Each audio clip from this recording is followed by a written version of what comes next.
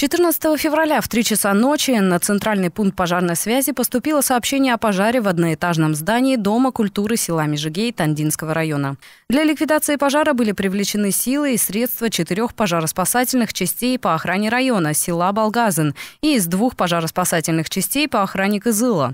Также задействована добровольная пожарная дружина села Межигей. Пожар ликвидирован. Переход огня на другие объекты не допущен. Пострадавших нет, сообщил с места пожара заместитель начальника начальника Главного управления МЧС региона Владислав Солонцев. Для установления причины пожара из Кызыла в сельское поселение прибыли эксперты испытательной пожарной лаборатории Тувы.